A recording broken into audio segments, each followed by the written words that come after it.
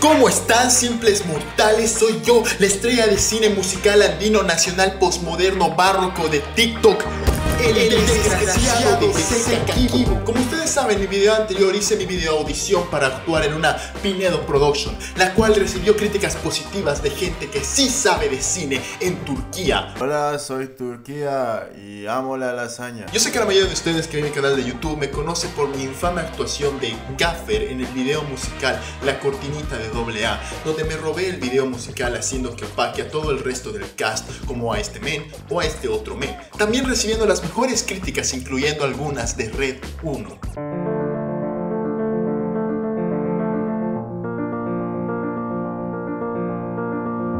Tristemente no pude obtener mi producción de TV Nacional Andina debido a que no soy lo suficientemente caucásico, pero pasó algo inclusive mejor. Espectador doméstico, un gran artista, fue donde la luz mandarina y le dijo, ¡Hey! Este video musical de tu canción. A lo que la luz mandarina dijo, ¡Guaso! Pero ¿quién sería capaz de hacer este rol? Necesitamos a alguien guapo, increíblemente talentoso, carismático y sexy. Así que llamaron a Fercho Max Power, a lo que les dijo, Soy Fercho Max Power y odio la lasaña. Y por eso dijeron, verga, llamemos a Seca Kibo, pero le ponemos lodo en la cara. Y así renací como actor nacional. Y déjenme contarles la historia de lo que fue, porque literalmente casi muero. Pueden considerar este video musical como Bautizo Cama 2. Ahora sí es personal.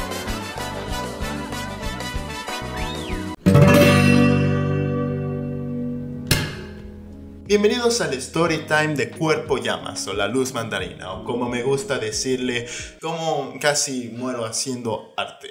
La filmación empezó el domingo a las 6 de la mañana. Yo me voy a dormir un día antes de la filmación, pongo mi alarma y me voy a dormir. El cantante de La Luz Mandarina, Pablo tenía que recogerme exactamente a esa hora, así que yo tranquilamente agarro mis sabanitas, me echo y despierto al día siguiente, son las 7 y media de la mañana, viendo mi celular que estaba en silencio, no sé por qué miércoles la llamada, la, la, la alarma no había funcionado. Y tenía como 30 llamadas perdidas de Pablo. Pausa, ¿qué tiene nuestra puta generación que odia usar timbres? Continuemos, a lo que me despierto de golpe y casi entre lágrimas de vergüenza llamo a Pablo y él me dice si no llegas aquí en 10 minutos estás fuera y el papel lo hago yo.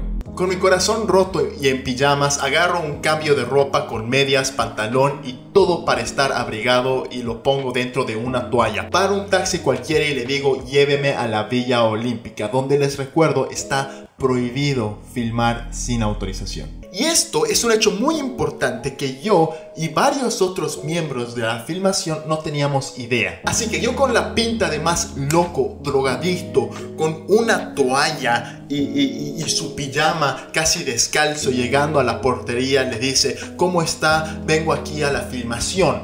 A lo que me dijeron, ¿filmación? Está prohibido filmar aquí. Y otros chicos vinieron a cual y me dijeron, cara de... Ah, Ah, ah, claro. A ver, déjenme llamar. Y, no tenía crédito, obviamente. Agarro mi toalla, busco mi celular de la toalla y, digo, oh, hola. Ah, sí. Oh, oh, oh. Oh, perdón, cierto, claro. Sí, sí, sí, señor. Dice que se canceló la filmación porque no se puede filmar aquí. Ustedes tienen razón. Y ellos eran de, oh, genial, genial, genial, genial, genial. Así que fui con toda la desesperación del mundo, listo para bardearme. O sea, la, puerta de la Villa Olímpica está aquí y yo me fui mucho más adelante, entre las tienditas esas de la Kumabi donde venden ropa y todo eso. Había un pequeño espacio y había una reja. Entonces estaba listo y preparado para, para bardearme, saltar al otro lado de la Villa Olímpica y meterme ilegalmente. Y en medio proceso, apareció un guardia. Yo estaba súper desesperado, estaba, estaba, estaba, estaba sintiendo muy mal. Había llegado allí en 10 minutos, pero entre todo ese proceso se estaba haciendo casi media hora. Entonces yo aprovechando mi pinta de loco en lo que apareció el guardia, solo me hice al confundido, además que estaba abrazando la reja y, no sé, y me, me, di la vuelta y me fui al la del frente y no logré entrar. Así que estaba bastante lejos de la puerta principal, ya no estaba con taxi, entonces corrí de nuevo hasta la puerta principal y les dije, ah sí, la filmación se canceló, pero mucha gente del cast, que son mis amigos, decidieron quedarse aquí y no tienen nada mejor que hacer y, y están jugando fútbol adentro. ¿Podría pasar a jugar fútbol con mis amigos? A lo que me dijeron, esta. Yo soy pésimo para mentir, así que era obvio que estaba mintiendo, pero puta mierda. No me creyeron y yo ya no sabía qué miércoles decirles para que por favor me dejen entrar. Y era de, solo eran unas putitos, se canceló, pero tengo que estar ahí para cumplir lo que sea. Por favor, por favor déjenme entrar, que estoy tarde. Y el guardia, una de las guardias, sintió mucha pena por mí y me seguía preguntando. Yo lo único que hacía era evadir las preguntas para que no piensen que había una filmación ahí. Y se cansó de ese niño insistente de querer entrar, que parecía un adicto al crack, y dijo, pasa y yo corrí como nunca en mi vida. Estaba súper tarde, pero me fui hacia el lado equivocado. No a, propósito, por si acaso, no me confundí. Me fui al otro lado porque según mi cabeza, si ellos me seguían para encontrar dónde estaba haciendo la filmación, yo iba a irme hasta el otro lado, iba a interceptar la zona y los iba a perder entre el medio del bosque pinches perros. Así que di toda la vuelta para perder a los guardias y llegué al lugar del rodaje, donde gracias al cielo todavía no había empezado. Estaban seteando la cámara y, esta, esta es la perspectiva del director. Estaban seteando la cámara entre unas plantas y del medio las plantas el director se asustó porque un vagabundo estaba saliendo entre las plantas y cuando se dieron cuenta era yo con mi toalla entre las plantas lleno de esas cosas pinchudas que se te meten en la, en la, en la ropa. Y procedieron a cagarse de risa, digamos. O sea, eh, es, es, es seca. Ah, no, no mames, ¿qué es aquí? ¿Por qué? ¿Por qué estás tan tarde, boludo? ¿De dónde estás saliendo? Y yo era de, tratando de explicarles, sí, los perdí, perdí a los guardias. ¿Qué mierda no me han dicho que no podía avisar? Que, que, que, que, que, que, que, que no se puede estar ahí para filmar. Entonces fui a la parte de atrás y ahí estaba Pablo. Pablo ya estaba con el disfraz, él estaba dispuesto a hacerlo, pero lo vio y me dijo, buenísimo, seca, a vestite rápido y vamos a empezar. Y yo ya era como que tal vez no la cagué tanto. Y después llegó la policía. Me cago. Llegó la policía para sacarnos de ese lugar porque se supone que no se podía filmar ahí. Yo solo lo único que quería era dispararme en la cabeza porque le estaba recagando. Y yo juraba, juraba que no era mi culpa porque, o sea, no era mi culpa, no era mi culpa, no era mi culpa. Así que todos decidimos cerrar nuestras cosas e irnos a la locación de respaldo. Y cuando estábamos en el auto de Pablo, yo, espectador doméstico, y Alito Goldtooth, me sentía absolutamente la peor persona del mundo. No solo había llegado ahí, también había cagado la producción entera del video. Pero ni Pablo ni espectador doméstico estaban mal ni enojados ni arresentidos conmigo, porque ellos prácticamente sabían que los iban a sacar del lugar porque no fui el primero en cometer ese error. Así que me dijeron, tranquilo, seca, tú tómate un café, come algo, no has desayunado nada, se ve que estás restresadísimo.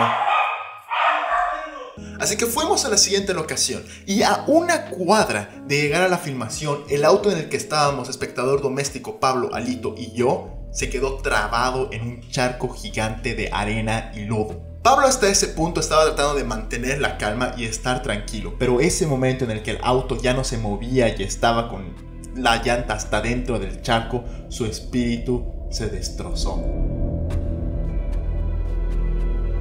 No había forma de sacar el auto.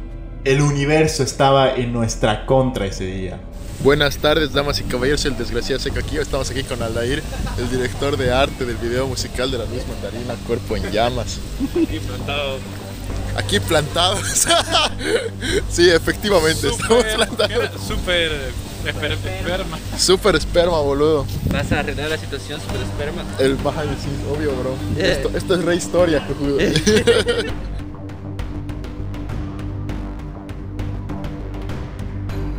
espectador doméstico, Pablo y yo nos fuimos a la locación a pie, mientras que Alito Goldtooth se quedó cuidando el auto. Ahí empezó todo, me pusieron arcilla en la cara, que era como un proceso medio tedioso, me dieron la cabeza de estuco, que créanme que era mucho más pesada de lo que parece, y tuve que entrar al río. Primero era plantas con agua y tenía que sumergirme hasta el fondo, al punto de que no se vea mi cabeza pero sí se vea la estatua, como que apenas estoy cruzando y todo eso.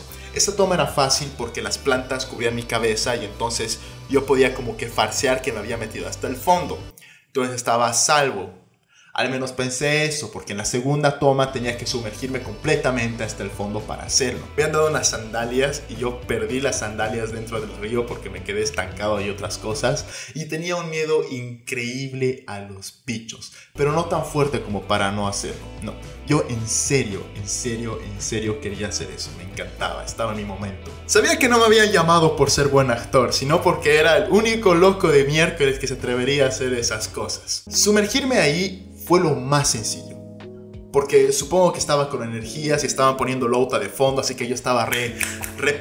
Y todos, al ver lo lindo que estaban las tomas y las imágenes que estaban quedando, el, el, humor del set mejoró. Todos estaban más alegres y estaban felices con el trabajo que estaba saliendo de este bicho tremendo, asqueroso, saliendo del agua. Era, era hermoso. Mientras que Alito estaba en su travesía de poder sacando el auto, llamando a un montón de gente, tocando puertas, como sea. Dale, listo, tú puedes. Ay Dios, después de esto puedo correr en el Dakar, juro. Alito Goldtooth en el Dakar 2022. Habíamos acabado las tomas, la arcilla se había terminado y el frío me empezó a atacar. Sentía como escalaba por mi espalda y yo solo me mantenía en constante movimiento para estar caliente. Si decía algo podía preocupar al crew y no quería dar más problemas de los que yo ya había dado. Entonces acabamos de filmar y todo el crew se fue directamente para ir a ayudar a Pablo y a su auto, lo cual fue inútil, estaba demasiado estancado. Espectador doméstico llamó a su padre para que los ayudara y porque él tenía una camioneta y una cadena y iba muy fácil sacarlos de ahí. Pero mientras tanto, todo el resto del crew tenía que ir a la siguiente filmación porque nos estábamos quedando sin tiempo. No filmación, locación. Pablo y Alito se quedaron ahí en la espera de ayuda. Espectador doméstico y yo nos fuimos a buscar la arcilla. Y luego de eso, yendo al Piraí, donde era la siguiente locación, nos llama Pablo y nos dice, tu papá ya vino a recogernos, nos ayudó, estamos en camino. Todos felices, festejando que bien, Pablo ya está bien, ya está más tranquilo, está en camino a la locación, vamos a llegar al mismo tiempo y vamos a poder filmar. Ya casi llegando, nos llama el papá de espectador doméstico para decirnos, estamos en la ubicación que enviaste, no hay nadie ni nada. Hubo un silencio no tan largo en ese momento. Nadie entendía qué putas había pasado. Pablo nos había dicho que su papá ya lo había rescatado. Entonces era como un silencio de duda y de miedo. Y la primera voz que se habló fue la mía. Y lo que dije fue... Un fantasma. Entonces empezaron a cagar de risa. Nadie, nadie entendía qué estaba pasando. No pensamos más. Pablo ya no contestaba. Así que decidimos ir directo a filmar. Llegamos a la locación y también llegó Pablo ahí. Entonces él y yo fuimos a hablar con él y espectador doméstico le explicó que su papá no lo había ayudado, que cuando su papá fue ya no había nadie. Pablo se sorprendió, se asustó y él procedió a contarnos que apareció una camioneta de la nada. Salió un hombre parecido a espectador doméstico, los miró y sin decir nada les dio una cadena y los sacaron ahí de golpe. No dijo nada ni gracias, agarró su cadena después de sacarlos y se fue. Ellos juraban que era el papá de espectador doméstico, pero no era. Y yo estoy seguro que era un fantasma. Pero no importa, empezaron las tomas en el Piraí, que si no parecen fregadas, fueron muy, muy, muy difíciles. En total estuvimos casi 10 horas filmándome mientras yo me caía en agua y estaba sufriendo. Y recuerdo que me decían, agarra la cabeza como si fuera pesada. Y era de, la puta madre, la cabeza es pesada. Llegó un punto en el que tenía que alzar la cabeza, ya era casi mediodía, media filmación. Tenía que sostener la cabeza aquí y no daban mis brazos. No daban mis brazos. No entendía por qué miércoles estaba tan débil. Me estaban prohibiendo de cargar cosas para ayudar en el set que tal cosa. Y yo quería ayudar, pero no me di cuenta que ya no tenía fuerzas. Supongo que mi cuerpo para tratar de mantenerse caliente estaba como que gastando el doble de energía y llegó el punto en el que ya estaba muerto. Mis brazos no daban más. Si pueden ver en esta escena en la que estoy corriendo, luego de haber filmado esa escena me caí al agua y me mareé un culo. Y les dije, estoy mareado. Y estaba como que estaba mal y decidieron parar un momento. Y yo no quería que paren para nada porque solo quería que el video musical terminara. Se encendían las cámaras y daba todo de mí, pero apenas se apagaba me echaba el piso a descansar. Fueron pasando tomas, tomas, tomas, tomas. El personaje era miserable, estaba cansado, estaba hecho tal. Y yo cada vez, cada toma siguiente estaba más y más relacionado al personaje principal. Llegó un momento en el que trajeron comida y yo no podía comer porque tenía toda esa masa en la cara y ya me la habían sacado y puesto como cuatro o cinco veces y no quería volverme a sacar y volverme a poner. Así que me hicieron un pequeño huequito en la boca en el cual me podían poner papas fritas y... y era la única forma en la que podía comer. Era como que me la daban y era como que ganso tragándolas hacia arriba para que no toque el borde de mis labios sucios. Y me llegó a la verga, me llegó a la verga comer así, me saqué todo y me puse a comer como pude porque necesitaba energías y después me lo volvieron a poner. No tienen idea el proceso de ponerse esa cosa en la cara era un infierno. Espectador doméstico lo que hacía era que la agarraba y la lanzaba a mi cara como si fuera cemento para que se pegue. Llegó un punto en el que le dije, me enojé y le dije, si haces eso una vez más, me voy, porque dolía mucho. Pero también la mierda se despegaba mucho. Ya no tenía fuerzas ni calor corporal.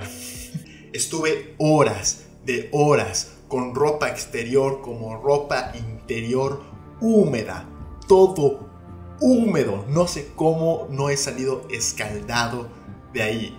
Acabamos la filmación. En esa última toma me saqué todo. Y ustedes nunca en su vida van a ver a un actor tan feliz en su puta vida de haber terminado con todo.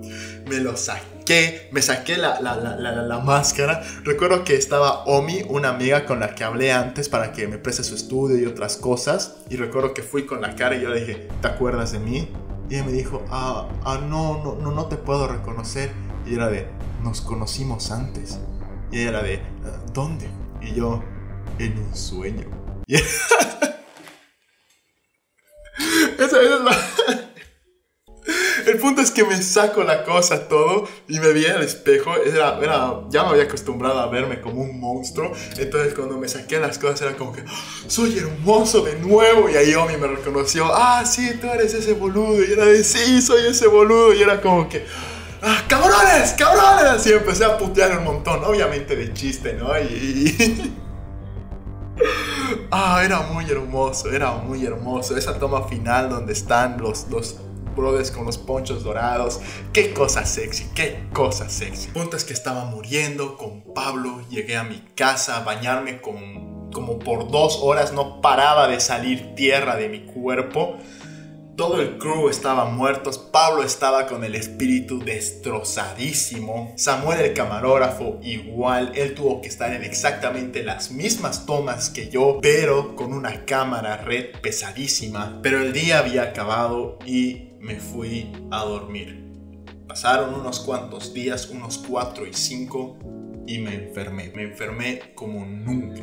No sabemos si fue por lo del río o qué, pero tenía saballón en mis pies, me vino una fiebre tremenda, tuve que ir a cinco médicos, me, me, recetaron medicinas a la cual resulté ser alérgico, me dio fiebre tan fuerte que empezaron a sangrar mis ojos, fue jodido, dejé de hacer streams como por dos semanas. Hubo un pequeño momento en el que creíamos que no la lograba y solo me puse a llorar porque ya no podía hablar ni caminar.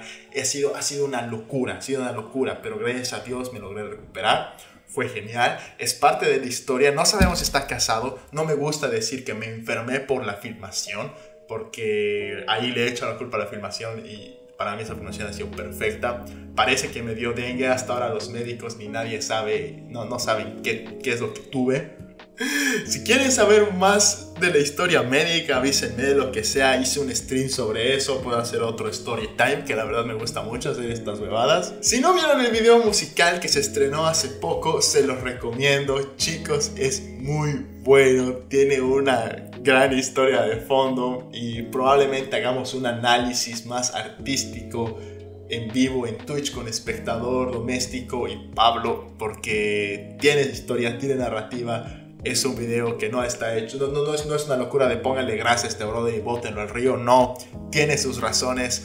Entonces, se los recomiendo chicos. Nos vemos en Twitch o en el próximo video. Los quiero mucho Ojalá les haya gustado la historia y ojalá les guste más el video musical. Los amo. Cuídense.